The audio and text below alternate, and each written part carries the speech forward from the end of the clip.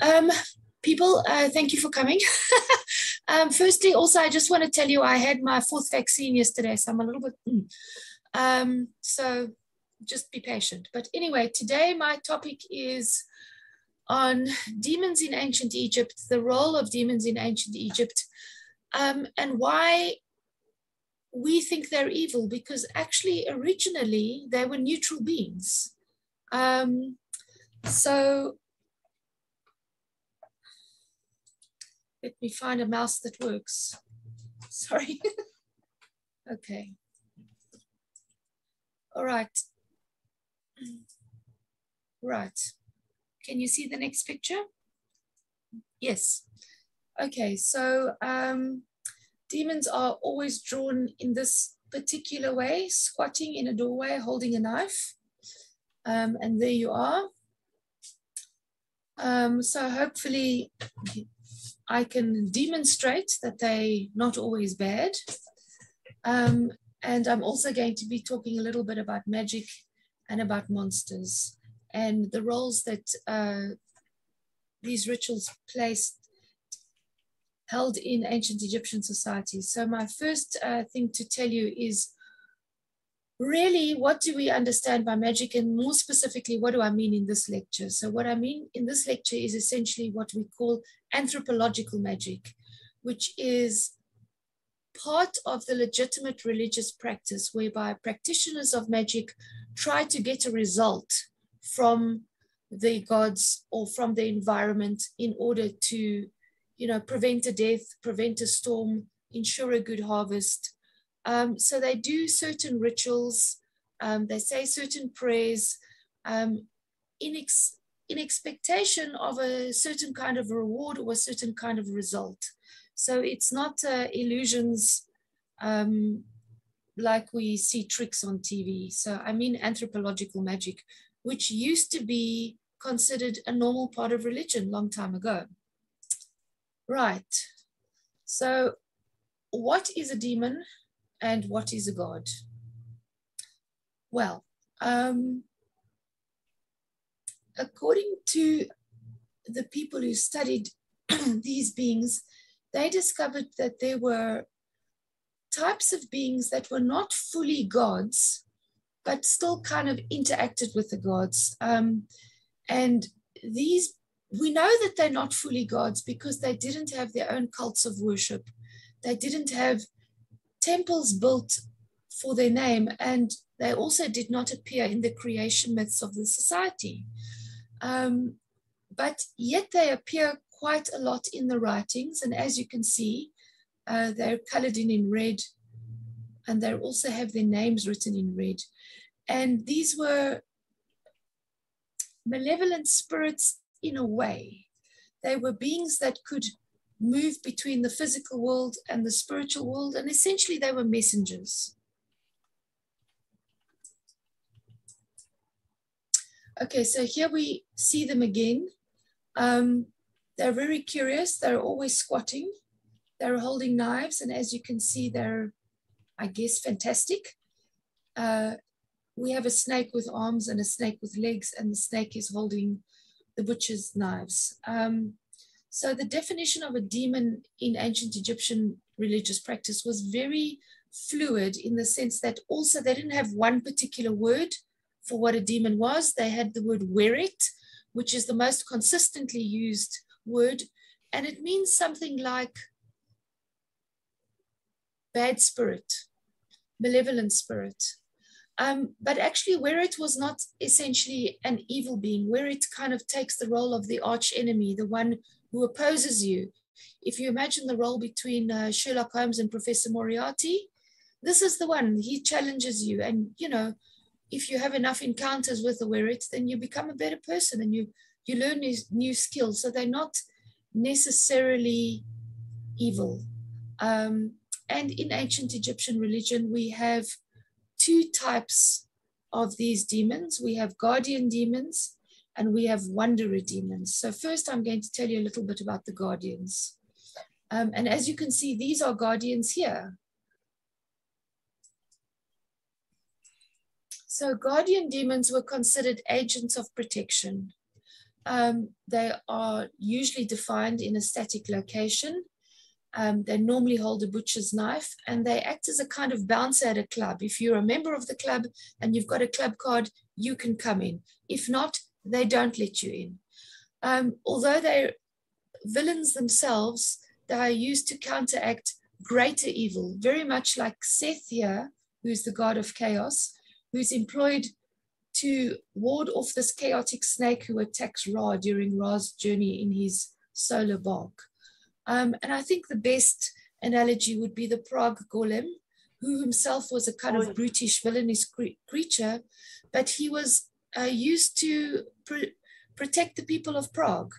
So he had a dual role. So this is essentially what the guardians were, although they were what we would call evil, brutish, villainish, um, they could be employed as agents of protection. And my first example here is this female demon called Taweret, and we know she's a demon because she has Weret in her name. So I guess we should say demoness. Um, she is, sorry? She is the guardian of pregnant mothers and childbirth. Um, and she is a composite being. She is a pregnant hippopotamus. She has arms and legs of a lion. Um, she has a crocodile on her back, as you can see. She's also holding the butcher's knives.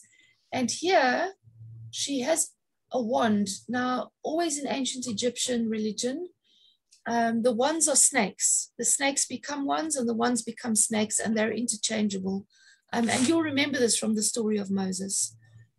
So um, the hippo became the protector of motherhood because the hippopotamus is a very fierce creature. She always protects her young. Um, and she was incorporated into their religion as a protector of pregnant mothers and newborns. And in fact, there is a ritual here, which you can see, I hope, where there's a hippopotamus tusk and the pregnant woman is giving birth in a magical circle, protected by the spell on the tusk. And there's another circle for the baby after delivery. So this is a guardian demon. Right, the next demon we have are the wanderer demons. The wanderer demons were very problematic they were agents of disease. They are called murderers, wanderers, and watchers, and they walk around causing trouble, very much like Satan did in the book of Job. Um, and this is a spell against breath plague, which I guess is what we're suffering from now during Corona. And it actually says here, retreat murderers, no breeze will reach me, so that passers by demons would pass on. Okay, I'm Horus. And I pass the wandering demons. Okay. So this is words said by a man with wood in his hand, let him go outside and make the round in his house, and he will not die from the plague of the year. It's very, very old. And apparently they had breath plagues even then, so nothing, nothing's changed. Right, okay, and this is just a little joke. Pharaoh's face when you've only survived one plague. He's bored with us, as you can see. And another wonder demon is uh, Ashmedai. Um, this is a picture of an incantation bowl from the Babylonian period. Ashmedai was considered quite powerful. Of course, he could make you sick, he could even kill you. But if you said the right prayer, you could trap him inside this bowl, and this prevented him from rattling around your house. Um, of course, if you ever figured how to get out of the bowl, you'd be in trouble. But uh, for now, he's stuck in the bowl. So this was part of ritual magic that was a legitimate part of the religion. Okay, next we have Bastet. Uh, Bastet is a goddess of hygiene and cleanliness. Um, how she became a goddess of cleanliness and hygiene was that although the ancient Egyptians didn't really understand the mechanism of diseases, they didn't understand biology, they did observe that fleas and lice bit the rats. Um, the rats, in turn, bit people or they infected the grain with their contaminated germs. And when Bastet came and killed all the rats, they had much less disease. So she became a kind of anti-plague goddess. And here she is being worshipped. And of course, here she is in a box because she's a cat. So there she is. Um, right. So what causes plagues besides the wanderer demons? Uh, plagues are caused by angry gods. Plagues are caused by bad heavenly conjunctions and eclipses, and obviously, plagues are caused by contact with foreigners. And that actually might be realistic because foreigners do have different germs, and of course, our immune systems are not always necessarily able to um, avoid getting sick. So, if you don't know what foreigners look like, these are Hyksos. Um, and here you can see Libyans, Nubians, and Asiatics and then finally an Egyptian. And like today, uh, when there were times of plagues, they closed all their borders and they kicked out the foreigners. So there we have it. This is a protective amulet against plague. And as you can see, it uh, looks very much like a mezuzah. It's a, a piece of scroll that gets encased in this little amulet of gold and as you can say, as you can see, it keeps you safe from every male spirit, every male dead, every male demon, every female spirit, every female dead, every female demon, every kind of death, every kind of illness, every kind of evil eye, every evil, evil glance, every evil injury, and also from the magic of foreigners. It protects you from the magic of Syrians, Nubians, and Libyans. So there you have it. Right, so why do we get plagues? Plagues, of course, are very problematic, uh, particularly angry gods. You've got to figure out why the god is angry, why he's sending you an earthquake or a flood. You've got to figure out what you did, what you did wrong, which god you offended, because you don't always know. The gods don't tell you. And on top of that, how to soothe the angry god. So, this is a prayer written by King Mursilis of the Hittites to the storm god. Here is a translation of the prayer. And the Hittites suffered a 20 year plague. How did they get this? If you remember my previous lecture, I spoke a little bit about Prince Zannanza, who was killed en route to marry Tutankhamun's widow. He was killed by the pharaoh Ay, who married Tutankhamun's widow, and then subsequently she disappeared. So we assume that she was murdered. But this prince, this Hittite prince, was also murdered en route. Um, his father was very, very angry at the loss of this child. And so what happened was, is that he sent some soldiers and they performed a punitive raid against the certain states that Egypt uh, administered, the Canaanite states, and they took prisoners of war. And as soon as they did that, of course, these prisoners of war had different diseases and they introduced plague into their society, and this plague lasted 20 years. So hopefully, Corona will not last 20 years. Uh, I guess if it does, we can say these prayers. Right, what the Hittites did uh, formulate to get rid of disease was the ritual of the scapegoat, which was quite interesting. They took two lambs, rams, sheep, goats. One they covered in the curses tied with wool, and as you can see, he's got red wool around his horns. And they threw this goat out of the city on the road towards their enemies, covered in all the curses. And the second goat they would sacrifice as a blood sacrifice to their gods. Um, occasionally, they would actually send all the prisoners of war out into the streets as scapegoats and even sometimes they would dress them in the king's clothes, which I thought was quite interesting. Um, and of course, this is incorporated into Leviticus. Um, there is a scapegoating ritual mentioned, mentioned there. Um, and we have Azazel.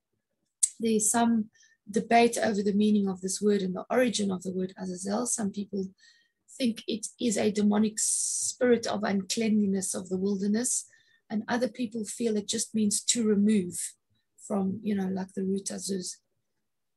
Okay, so plagues in general were considered just calamities, uh, very bad things happening to society. And of course, here is a Pashkevil from 1980, where uh, plagues of archaeology are sweeping the land of Israel. So uh, be aware of that.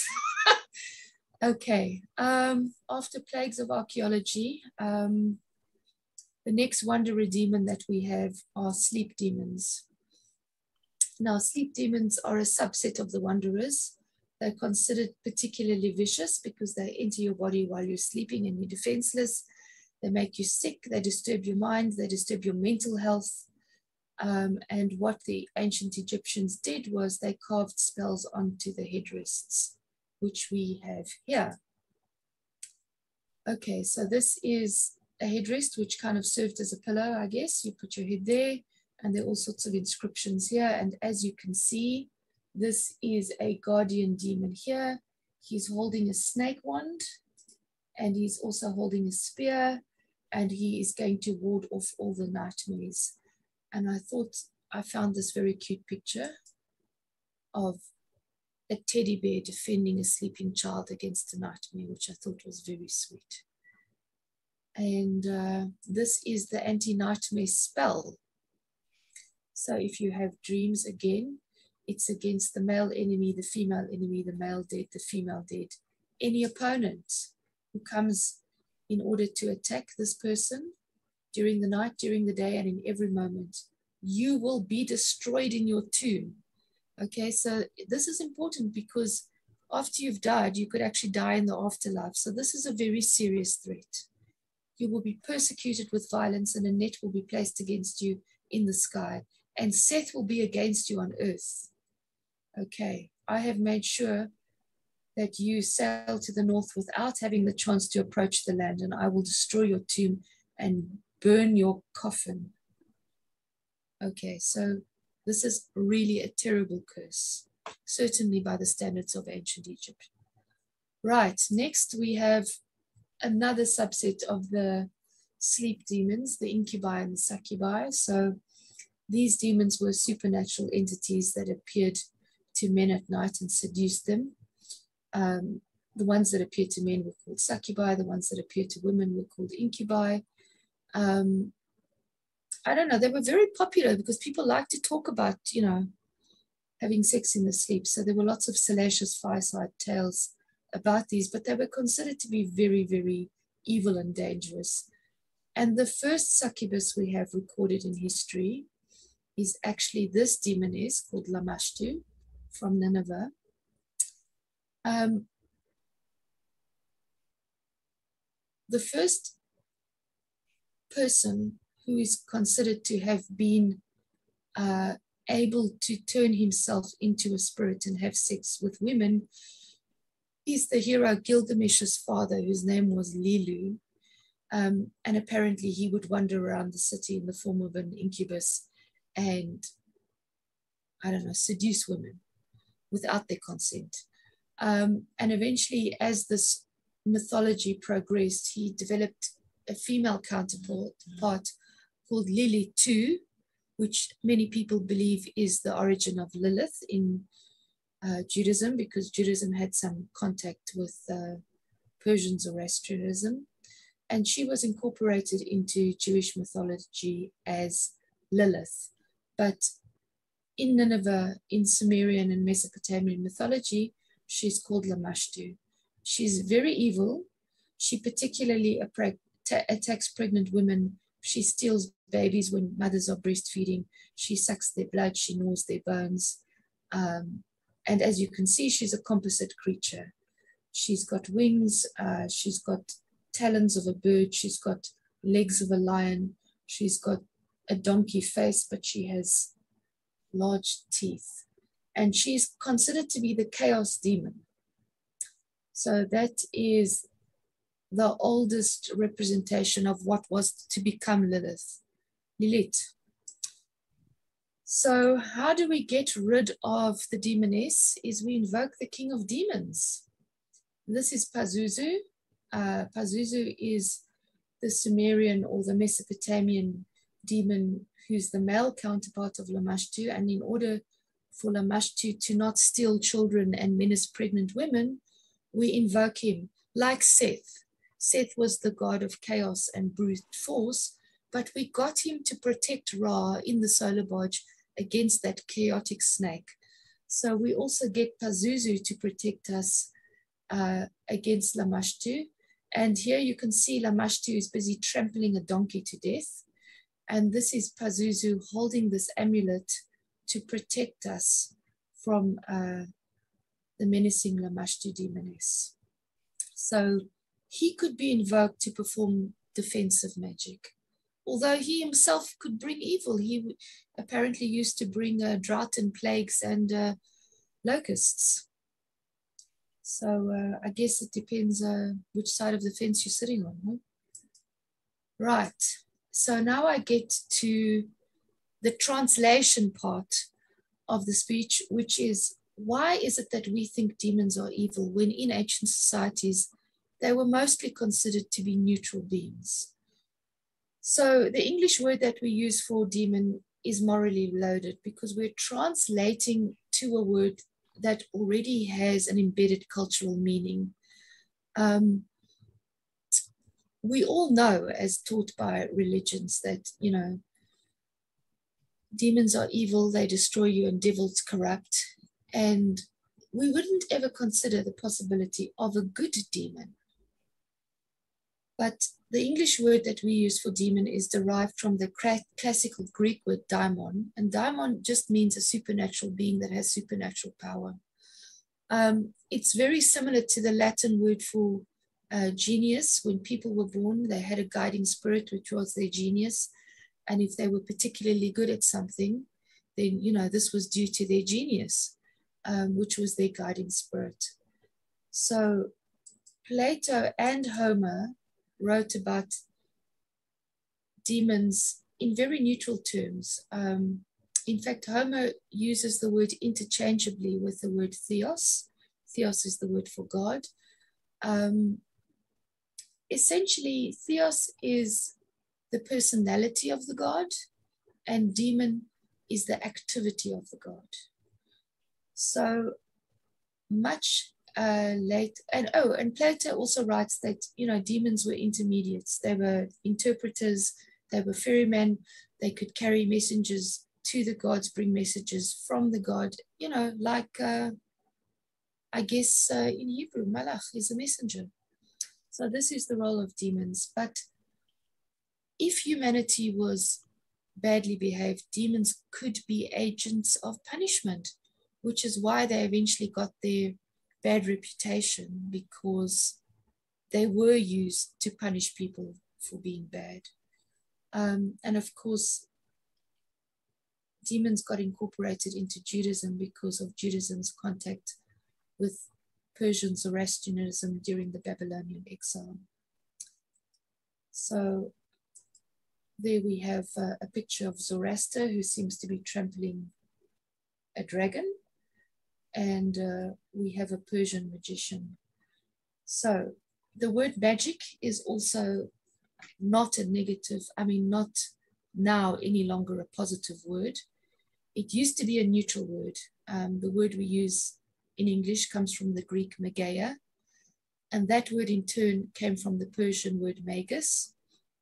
Um, and magus was just a word to describe the Persian magicians who were called magoi and the type of magic that they were performing. But eventually, the type of magic that they performed was considered to be fraudulent, unconventional, and dangerous. And essentially, when they had contact with Greek society, the Greeks felt that their magic, the Persian magic, was against the Greek gods. So this word, Mageia, became a negative word. And then when it was incorporated into Latin, it retained that negative meaning.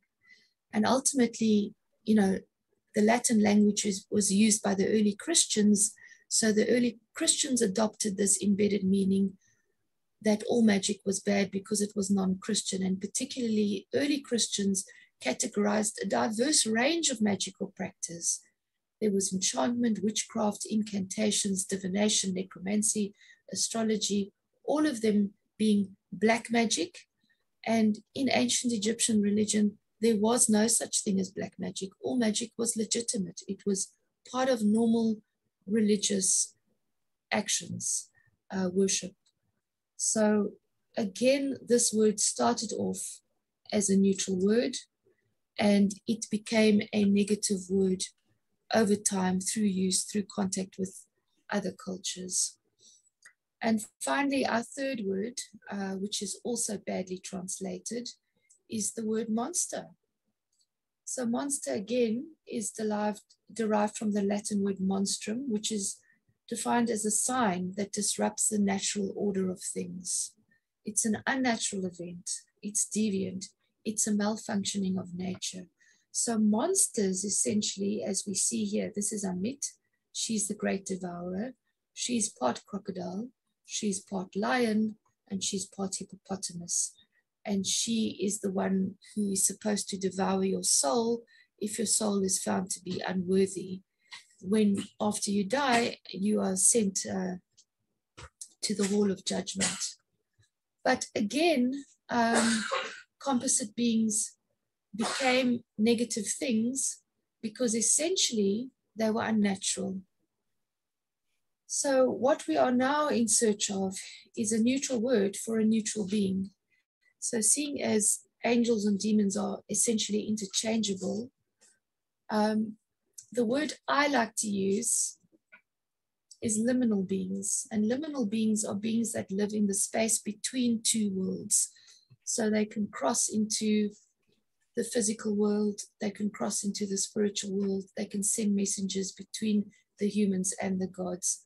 But they don't really belong to either world. They're kind of amphibious, ambiguous beings. Um, and at least if you're called a liminal being or a border crosser, this doesn't actually have that embedded negative meaning.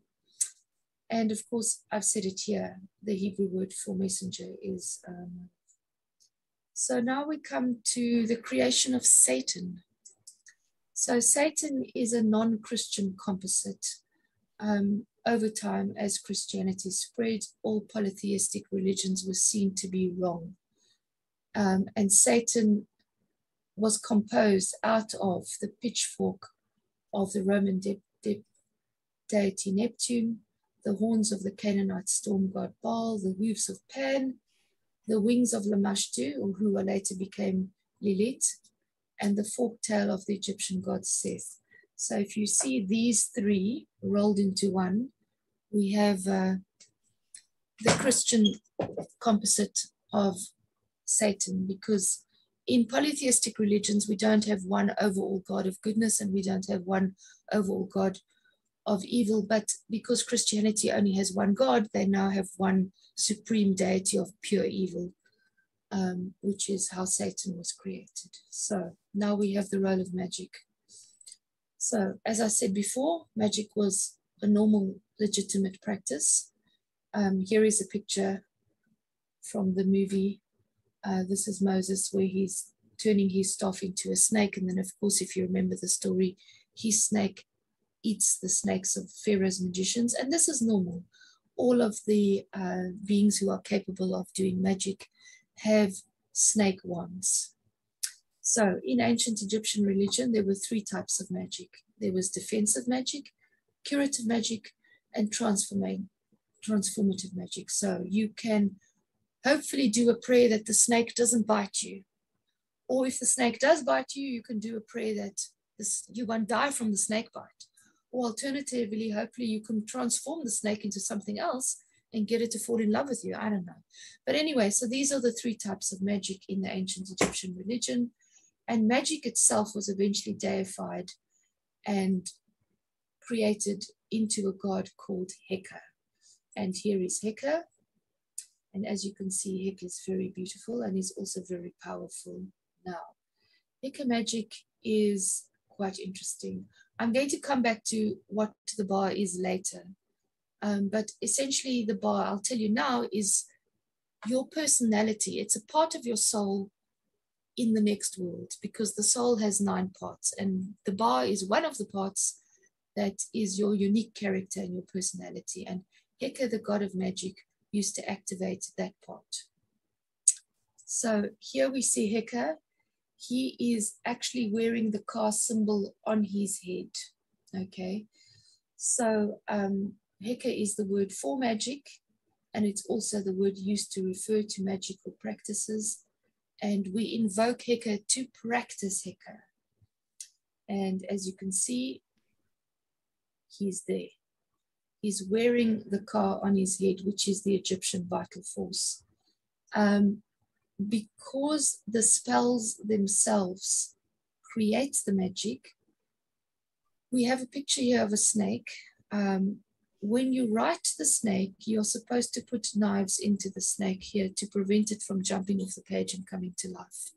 So this is how powerful Heka's magic was, um, that the spells could actually come alive. So now we have uh. We know that she's a demoness because she has Weret in her name. And this is the plural of Hekau. Um, so it's Heka, Heka, Heka three times. And she's female Heka. And we can see that she has a lot of magic because here her name is written. And this is Weret, Weret. And then Heka, Ka, Ka. So three kas, lots and lots and lots of vital force. And her name means great one of magic or great enchantress and she was the personification of supernatural powers, particularly female. Okay. And her name was placed on those ivory tusks of Taweret when the women who were giving birth had to give birth inside the magical circle. This is what they wrote on the ivory tusks, her name. So, um, the demonization of illness because ancient people didn't understand the biology of diseases, obviously they explained diseases away as the work of the evil wanderer demons. Um, so when you got sick, there were always two components to the cure. There was a practical component and there was a spiritual component. So, for example, whooping cough was treated by grinding a mouse into milk and then singing a lullaby which I guess by today's standards would be a high protein diet and bed rest. I don't know. Anyway, we all know that these treatments were effective and probably they got better due to the placebo effect. And there is some thinking that if you demonize an illness and you then give people spells to get rid of the demons, actually they're participating in their own recovery. So it's very good for them psychologically to do that. They feel that they're involved and they're getting rid of the demons and they're getting rid of the, the illness, and it's very good for them. Right. Um, in general, being sick in ancient Egyptian religion was very problematic for religious reasons because you needed your body to be mummified, intact, in good condition, so that you can be resurrected in your next life. So sickness was a very big problem, and it was also disrespectful to the gods. Right, so I'm just going to talk a little bit about uh, medicine and cleanliness in ancient Egypt, and hopefully we'll go quite quickly. So um, I want to talk a little bit about the types of medicines that they did have and that they did work. So they were very good at what we would call first aid, insect bites, burns, intestinal diseases, parasites, um, iron skin problems and treatments of abscesses, tumors, bone settings, but obviously not surgery because they didn't have any anesthetics and they didn't have any antiseptics. But they did make in ointments, they did put leaves in their bandages to reduce inflammation. Um, they did know which herbs cured and helped which conditions. Um, and they practiced, where possible, quite good hygienic practices. They had toothbrushes, they brushed their teeth, they shaved their hair to avoid lice. Um, and they even had indoor toilets, which I'll show you in a moment, but they weren't, they weren't flush toilets. Okay, but anyway, I just want to show you this. This is the toothache demon. And if you've ever had a toothache, you know that that's exactly what it feels like. Uh, there's some guy banging around inside of your tooth. This is actually not Egyptian. This is from France. Um, this is from uh, just after medieval times. Um, but they believed that there was a toothache demon, so there it is. And this is an ancient Egyptian toothbrush. And here you can see they've installed a set of false teeth. And what they've done is they've taken somebody else's tooth and they've strung it together with some gold wire and then they've strapped it in place with some knots. And, you know, actually, they were pretty good at dentistry. I mean, this is 6,000 years old. It's not bad going. Right, next we have the headache demon. Oh my God. Now, the headache demon is called Sahakek. Um, he like almost deforms you through pain. And how you cure a headache is you strap a baby crocodile onto your head. And I actually think that this would probably the most be the most effective and wonderful cure because honestly, if you had a crocodile on your head, I think you'll forget about your headache very quickly. So there you go. Um, as for hygiene, um, they would shave their entire bodies every day and they wore wigs. Um, and these little things over here are cones of perfume so that when they walked around, the cones would melt and it sort of worked as a form of deodorant. They had perfume dripping down their bodies. Um, and obviously, they wore wigs to get rid of lice. And here is a scene from one of the temple walls where they're practicing circumcision. Because let's face it, sand gets everywhere. Right, okay, we have an indoor toilet, at least we have a toilet seat.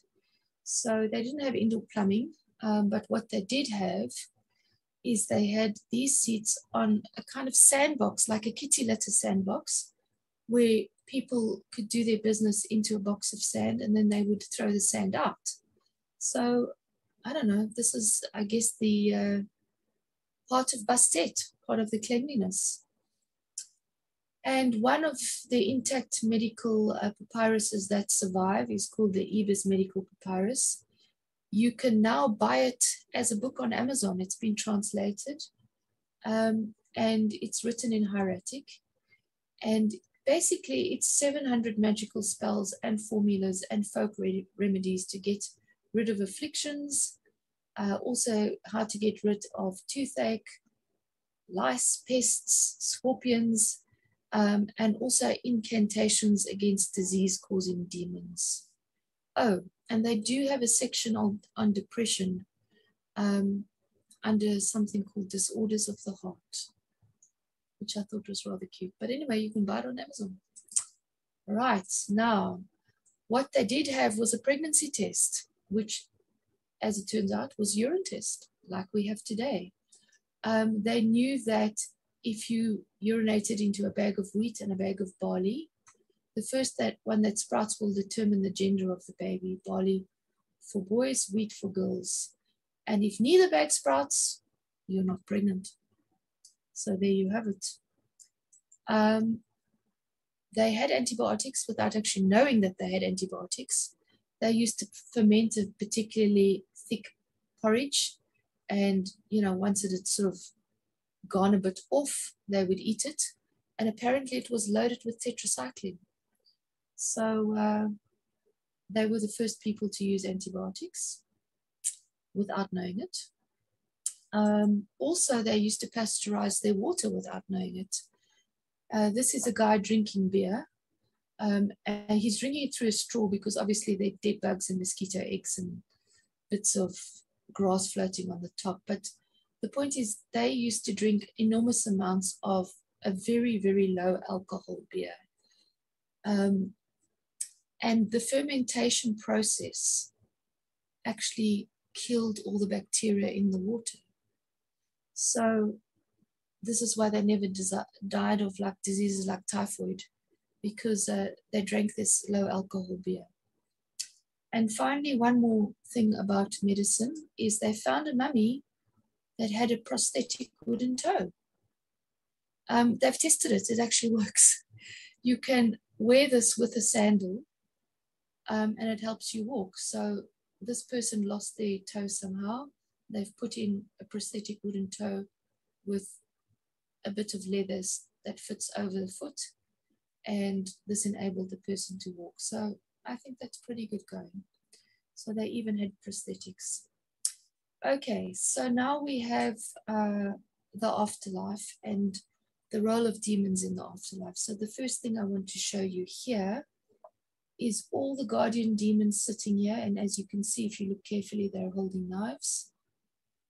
So um, this is the mummified body here. And of course, he's dressed as Osiris because he's supposed to kind of reunite with Ra and re-energize himself and rise again. So what happens when you die is you've got to go through all these gates. And there are guardian demons at all of these gates to make sure that you're the right person to get into the afterlife. So again, they have that dual role of defending the afterlife and throwing you out if you're the wrong person. So essentially, the afterlife was considered to be very similar to the life that we have when we're alive on earth, except that there are nine different parts of the soul, there are nine different stages that the soul goes through. And what actually happens is that in the afterlife, when you die, you sort of, your model of life then becomes the journey through the underworld and the re energization with the sun in the morning. So Osiris dies, he goes to the underworld, he meets Ra, they re energize each other, and they get born again and they shine in the sky again. And that is the daily circle of life. So every person became their own personal Osiris in terms of their own mummy, and they had their own underworld, their own personal duat, which was their tomb, and they enacted this role of being born again every day and passing through all these gates which were guarded by the demons every night. So um, they had a special book of spells which explained to them how to approach all of these demons. This is the book that we call the Book of the Dead. They actually call it the Book of Going Forth by Day. And it was very important that you actually managed to do this properly because otherwise you could die in the afterlife and this death would be permanent. So you had to be very careful of that. Okay, so I've got a little bit here, but we're out of time. But this is just, if anyone wants me to email this to them, I can. But this is just the nine different parts of the soul the physical body, the spiritual body, the life force, the personality, the heart, the shadow, the power of the soul, the name of the soul, and the intellect of the soul. Um, so these are the nine stages that you go through after death, which I cannot go into detail now because we're out of time. But just know that there's a demon that guards all the different stages. This one is quite interesting because this is Ka, which is the life force. And Ka is the kind of vitality of the person. And when people found these two statues, they used to translate the word Ka is double, but it's not. It's the spiritual double. And you can see the Ka is slightly smaller because he's got to fit into the person. Um, and then this is the Ba, and the ba is the personality. And each person has a ba bird. Once they die, their personalities incorporate into this bird, which floats above them. And I know it's beginning to sound a bit like Kabbalah because we have Ka and we have Ba, but you know, I think it actually is connected. And then we have the heart over here. And this is Ammit. I spoke about her before. Your heart is weighed against the feather of truth. And if you found to be lacking, she will eat your heart. And they have these scarab pendants which they put on your heart because apparently your heart can tell tales and can testify against you in the afterlife. So you've got to be careful of that. Um, and this is just a little joke. Last Christmas, I gave you my heart, and the very next day, you gave it away. um, part of your afterlife was your shadow. So, um, as you can see, even the shadow is considered to be a form of life. It contains some form of part of the person. You can see often drawings of them coming out of their tomb, literally a shadow of their former self. This is the ba bird. This is the ba bird. This is very cute. This is the shadow of the sun, if you can believe it. Another part of the soul is sechem, which just means power. And I can't go into that now, we don't have time. And then another part of the soul is ren. And part of destroying you was destroying your name, and part of maintaining your life in the current life and in the afterlife was keeping your name. And here is the tomb, I'm sorry, the sarcophagus of Akhenaten with his name cut out in an attempt to destroy him. And finally, if you've passed through all the different stages of life and the different stages of death, you become Ankh. This is the united Ba and Ka to form Ankh, the intellect, which is transfigured into light, and you become a star in the sky. There you are. So that is my final page, and my conclusion is just that I hope I have convinced you, or at least I've demonstrated to you that demons were not always evil, um, that they were neutral, and in fact, although they could cross between two worlds, they couldn't somehow cross between two languages, and they were literally demonized in translation. And okay, that's it. I'm out of time. So I hope you enjoyed it. All right. Um, if you want a copy of this, send Uri your email and I'll send you. Okay. Thank you, people. Thank you very much. Bye.